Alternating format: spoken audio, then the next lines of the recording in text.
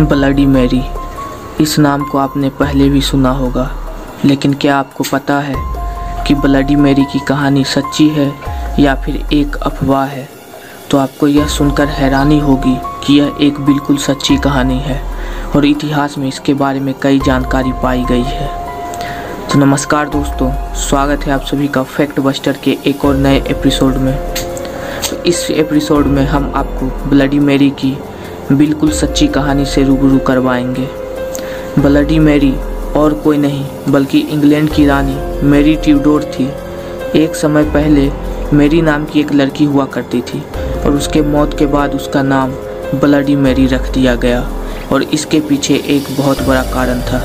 Bloody Mary के बारे में हम जो कुछ भी सुनते हैं, वे सारे सच हैं और कई लोगों ने ब्लडी मैरी की इस घटना को अनुभव भी किया है।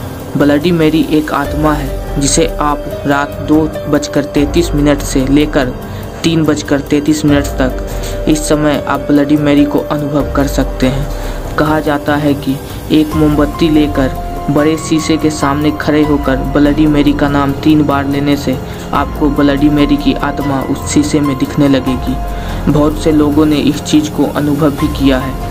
इंग्लैंड में एक व्यक्ति ने रात के दो चालीस में अपने घर के शीशे के सामने खड़े होकर ब्लडी मेरी का नाम तीन बार लिया। कुछ समय बाद उसने शीशे में एक लड़की को देखा, जिसकी आँखों से आँसू निकल रहा था। कुछ समय तक उस लड़की का चेहरा शांत रहा।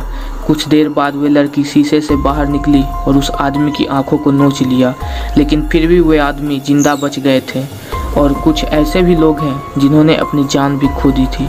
ऐसा माना जाता है कि अगर कोई ब्लडी मेरी का नाम तीन बार ले और बाद में कहे कि आई स्टोल योर बेबी तो उसे और भी गुस्सा आने लगता है। इसका मतलब है कि मैंने तुम्हारे बच्चे को चुराया है। 1509 से लेकर 1547 तक हेनरी इंग्लैंड के राजा थे और उनके दो बेटियाँ थीं, एलिजाबेथ और मैरी। पहले ज़माने में राजाओं की एक से ज़्यादा बीवी हुआ करती थी तो हेनरी की भी बहुत सारी बीवियाँ थीं। और मैरी हेनरी की पहली पत्नी की बेटी थी। मैरी को उनके पिता इतना पसंद नहीं करते थे और उसके साथ जीव व्यवहार करते थे। महल में नौकर होने के बाद भी मेरी महलों के सारे काम काज करती थी। मेरी की पिता उसे जो कुछ भी करने को कहते थे, वह करती थी। कभी भी उनके बातों को अमान्य नहीं करती थी। पंद्रह में राजा हेनरी की मौत हो गई। और उनके पिता के मरने के बाद प्रजाओं के अनुसार मैरी को इंग्लैंड की रानी बना दिया गया। रानी बनने के बाद मैरी अब जो कुछ चाहे वह कर सकती थी, लेकिन उस समय कुछ हालातों की वजह से इंग्लैंड में धर्म को लेकर लड़ाई चल रही थी। लेकिन मेरी यह चाहती थी कि पूरे इंग्लैंड में एक ही धर्म हो, लेकिन इस बात से लोगों ने इनकार कर दिया। जो लोग मेरी के इस बात को नकार रहे थे, मेरी ने उनको मरने की सजा दे दी और कई लोगों को ज़िंदा जला दिया। इसी वजह से मेरी को लोगों ने नापसंद करना शुरू कर दिया और उसे एक शत्रु के रूप में देखने लगे।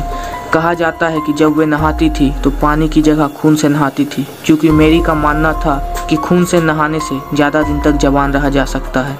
कुछ सालों बाद मेरी ने शादी कर ली और वे एक साधारण सा जीवन बिताने लगी। मेरी को बच्चे की ज़रूरत थी, ताकि उस राज्य का राजा या रानी उसके बच्चे को ही होना था। कुछ महीने बाद मेरी गर्भवती हुई और पूरे इंग्लैंड के लोग भी खुश थे कि मेरी का बच्चा जन्म लेने वाला है।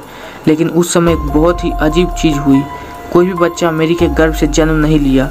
इस घटना से सभी बहुत आश्चर्य हुए। कुछ महीनों के बाद मेरी का पेट पहले जैसा नॉर्मल हो गया। उस समय के ओझा ने उन्हें बताया कि इतने दिनों से कोई बच्चा नहीं, बल्कि एक भूत उनके गर्भ में निवास कर रहा था।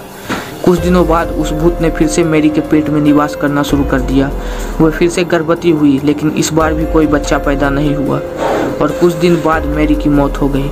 मेरी को लोग बहुत ही निर्दय मानते थे, क्योंकि वह लोगों को ज़िंदा जला देती थी और खून से नहाया भी करती थी।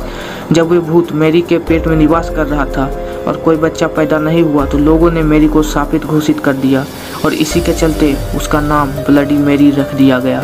मेरी के मरने के बाद उसकी बहन एलिजाबेथ को इंग्लैंड की रानी बना दिया गया। तो दोस्तों, आपको यह कहानी कैसी लगी, हमें कमेंट्स में ज़रूर बताएँ। अगर आपको हमारी ये मेहनत पसंद आई है तो इस वीडियो को एक लाइक करें और अपने किसी एक दोस्त के साथ इस वीडियो को शेयर करना ना भूलें। और हमारे चैनल फैक्ट बस्टर पर प्रतिदिन आप लोगों के लिए ऐसी ही वीडियोस आती रहती है। तो कृपया हमारे चैनल फैक्ट बस्टर को सब्सक्राइब करें। तब तक के लिए मैं आपका होस्ट और दोस्त फैक्ट बस्टर आपसे इजाज़त लेता हूँ। जय हिंद, वंदे मातरम।